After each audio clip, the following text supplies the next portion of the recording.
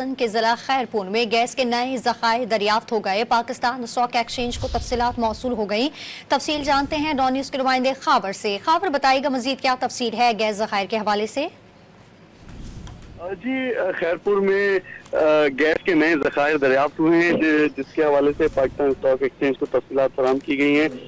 Khairpur Sawan block में gas के नए कुओं की खुदाई में फरवरी के, में शुरू की गई थी, जिसमें कामयाबी मिली है। सावन गैस में तकरीबन एक कुआँ जो है, वो उसकी बारह हज़ार चार सौ बयालीस फीट गहराई में गैस दरियाफ्त हुई है। कुओं में गैस का प्रेशर चार हज़ार पाउंड है जबकि ओजीडीसीएल ने गवर्नमेंट होल्डिंग, प्राइवेट और Sindh energy holding United Energy limited कंपनियों से गैस जो तलाश करने वाले जखायर उन्हें आगाह कर दिया है हाइड्रोकार्बन गैस की दरियाफ्त के लिए मुल्की तोानाई की ज़रूरत को पूरा करने में अहम किरदार अदा करेगी ये दरियाफ्त। जी। बहुत शुक्रिया, खावर।